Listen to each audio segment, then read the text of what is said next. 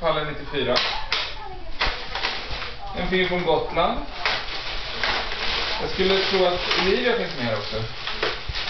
Gamla förlorade band från Olivia. Vad är meningen med det här Erik?